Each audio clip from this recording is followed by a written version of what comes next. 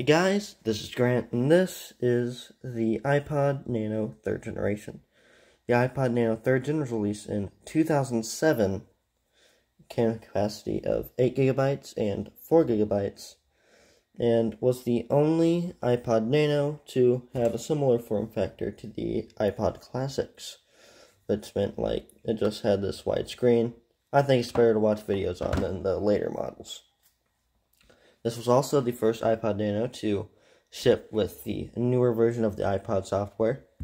The older version that was also released on a bunch of iPods is this version, where it just has the um, bars and stuff and like not as many features as the newer software. There are some similar things, but this did add more.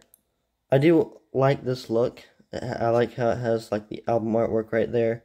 And also, the games are more high quality with games like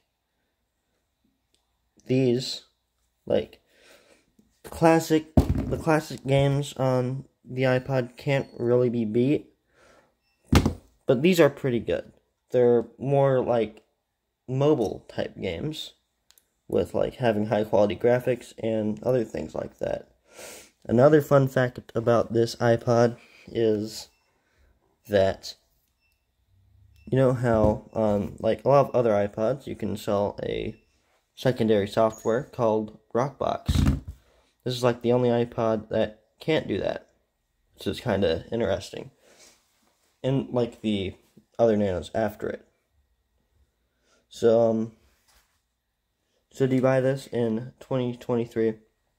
Depends what your need is.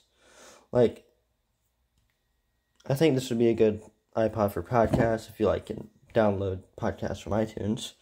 But I would recommend a bigger iPod Classic if like you have like a ton of music and stuff. Like if you have like one playlist and you just want to go running or something, this is probably perfect and really light and really thin. That's why I like this one. So, um, that's it. Thanks for watching. Please subscribe, and bye.